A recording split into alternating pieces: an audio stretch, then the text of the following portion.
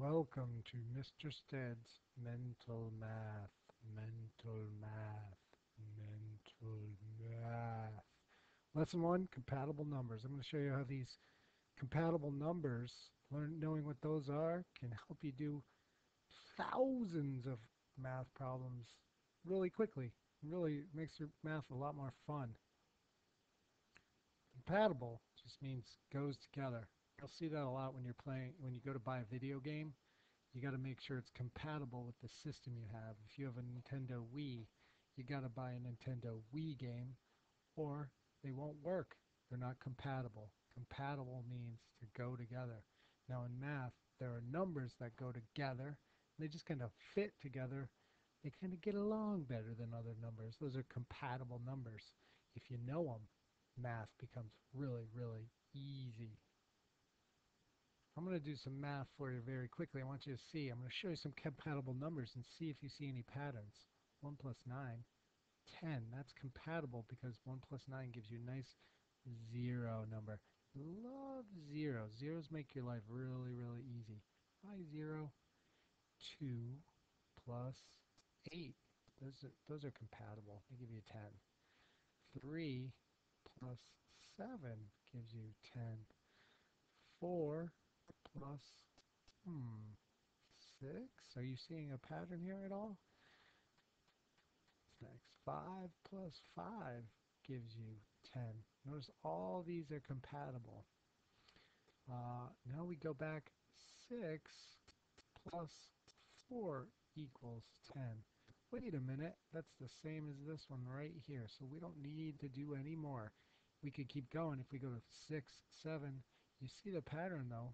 As these go up, these go down, they kind of complement each other. We can keep it going. 6 plus 4, 4 plus 6.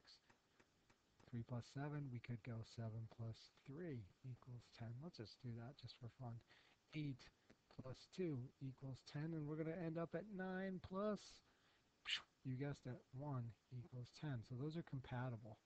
If you know those, really, there are only, how many are there here?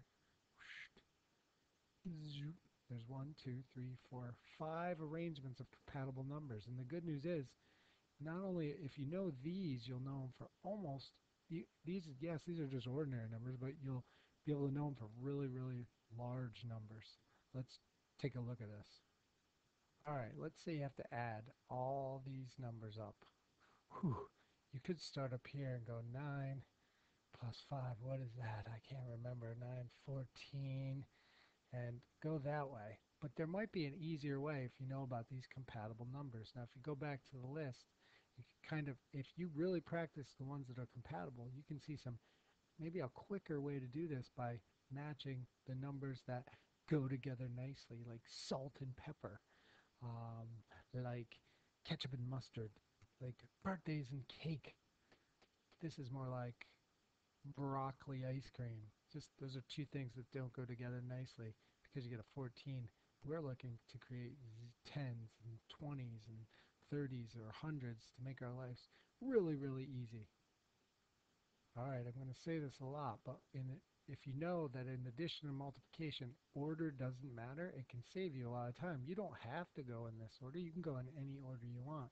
So let's just check out, are there any things, that, any compatible numbers? Oh, right here, 6 plus 4, that makes a 10. Easy. Um, there's a 5 and a 5. That makes a 10. You just got to keep track once you've gotten rid of something. Hey, a 9 and a 1, that gives you another group of 10.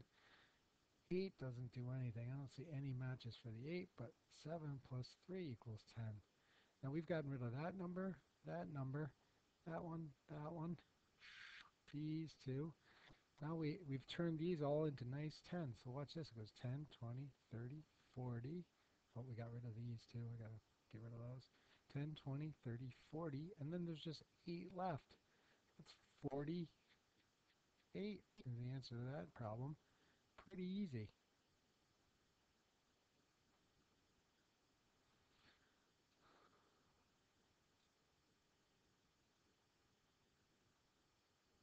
All right, now I'm going to let you give it a try. I'm going to give you some numbers. Just look at them. Remember, we're trying to do these in our heads. I know you can write them down probably, but I'll, I'll give you like four numbers, and four or five, maybe even six. Look at them and see if you can add them in your head, looking for compatible numbers. All right, go. Give you a few seconds here. Do do do do do do. Think about it. Think about. Look carefully. What things go together? Do you have it? Let's do it together. Uh, six and three. man, that doesn't give us a good number. But wait a minute. Three and seven go together to give us ten. Six and four go together to give us another ten. So the answer to this, 20. All right, here's another one. Go. Do, do, do. Could you do here? All right, do you see anything?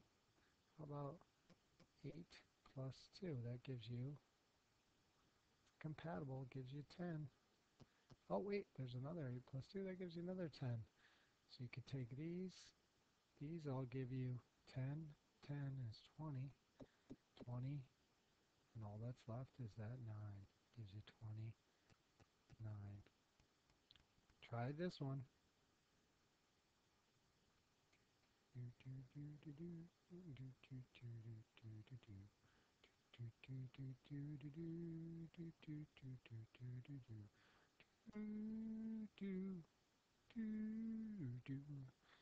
Hey, look at this. 10, 10, 20, 27. Try this one. Do do do do do do do do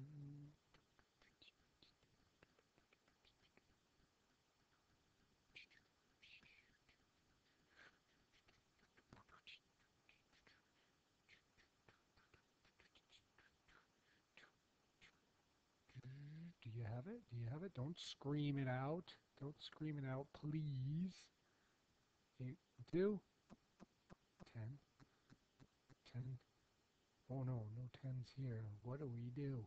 Oh, wait a minute. There is a ten. Nine plus one. That gives us 10, 20, 30, and four. 34. And that's a little lesson about compatible numbers.